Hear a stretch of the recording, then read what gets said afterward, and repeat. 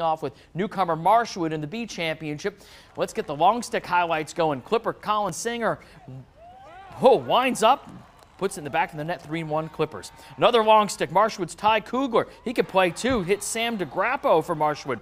Yarmouth answer, Pete Psyhogeos and Steve Fulton with a nice assist. Then Kugler with his team down 5-4 in the second. The sick move and the backhander ties things up at 5. In the third, Yarmouth up a goal and Wonder Twin Powers activate. Kugler sets up his twin, Kevin, at 7-7. But Psyhogeos answers going upper deck for the goal. And then Max Tane extends the lead early in the fourth. Clippers up 9-7. And then Singer to Psyhogeos puts it out of reach. Psyhogeos Five goals, 13-10 Yarmouth. The Clippers repeat as champs.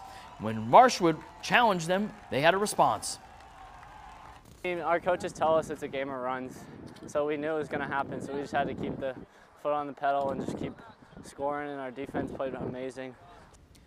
Sea Boys Championship game, Waynflete and Oak Hill. Oak Hill's first appearance in a title game. Flyers jump out to a lead. Harry Millspaw finds Rowan Hopkins. It's 2-0.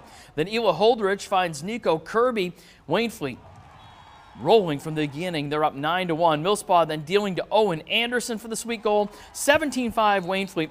Third title for Waynflete. In the celebration here, number 25, Michael Verno. The last of the eight Verno children to attain, attend Waynflete.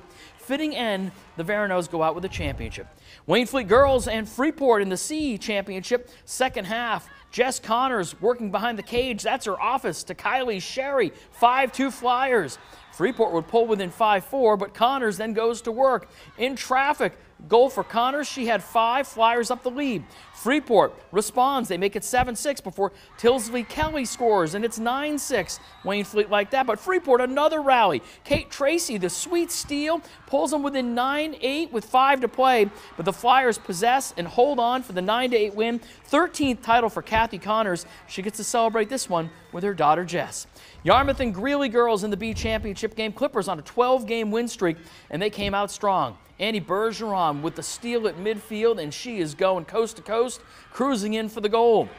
Then Anna Thornton finds the freshman Anya Powers, who had four goals in the first half. Clippers up 7-4. Greeley rallies in the third, though. Sam Goldberg, they pull within 7-6. Sam Goldberg would do it again, and they're close, but the Clippers assert themselves. Andy Lowenstein, who hit the 100-goal plateau in her career, scores. Caitlin Diapollonia, the free position goal. Clippers ended strong, 13-8. Their seventh state championship for